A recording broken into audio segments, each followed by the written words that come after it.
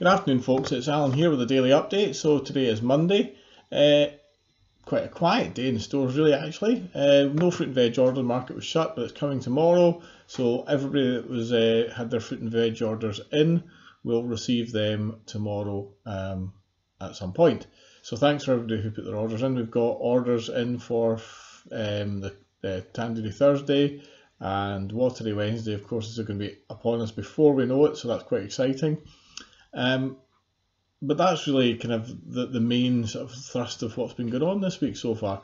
However, uh, some big news. Um, we were in Booker earlier on this afternoon and we came across some Tunnocks tea cakes. How fabulous. I believe the factory is still closed, so they're going to become a, a, a scarce commodity. And I, I was talking to uh, Derek and Booker and he was saying that uh, the stock had actually been down in their warehouse in Wellingborough or somewhere like that. So obviously English folk don't have a great taste in chocolate comestible biscuits. Um, are they a cake? Not quite sure. Might have to go to court for that. Um, however, we have got Tunnocks tea cakes now strictly limited to one box per customer. Um, and if they don't last that long, well, they, there'll be none left because the factory's still shut. I will go and see if we can get another case in Booker next time we're in, uh, but I don't think they will last that long really because um, I think everybody will be so desperate to get a hand on one, then it, they'll all be gone. So um, tomorrow's Tuesday. Um, we've got really no pre-orders needed until um, Thursday now. So Thursday will be Thursday for Friday for the butcher and for fruit and veg as usual. So bear that in mind and have a think about what you need.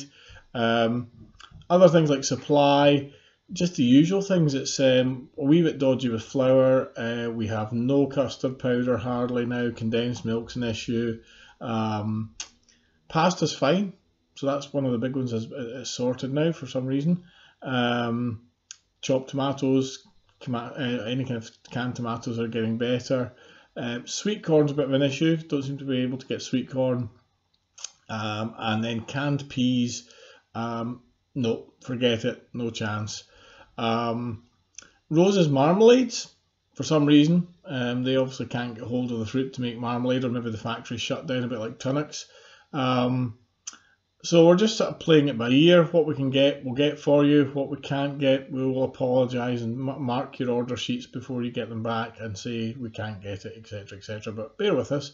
Um, we are trying to source alternatives where we can um, and find or chase stock down um, with the aid of the wonderful Sean McMillan, who is the world's best shopper. Uh, she pulls things out of the hat like condensed milk. We found some condensed, or she found some condensed milk in the shop. It's all gone now, but she found some.